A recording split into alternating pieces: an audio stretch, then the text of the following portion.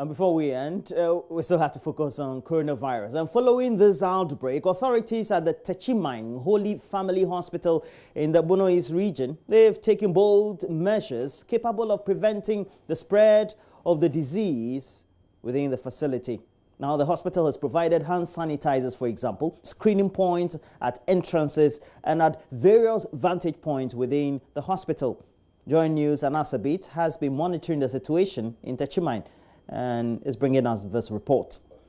The president, during an address to the nation last night, uh, indicated that establishments such as supermarkets, shopping malls, restaurants, hotels, etc., are expected to observe enhanced hygiene procedures by providing, amongst others, hand sanitizers, running water, and soap for washing of the hands. Here at the Techiman Holy Family Hospital, authorities have provided hand sanitizers here at the entrance and at vintage points within the hospital to ensure that uh, patients and people who come into the facility do not carry the virus from their respective homes into the hospitals. They are also uh, ensuring that uh, any visitor from the entrance is being checked in terms of his or her temperature, providing an emergency response unit to take care of uh, whoever is suspected to have been a carrier of the virus. Uh, join us, we're speaking with authorities to inquire from them what informed their decision to take this giant step.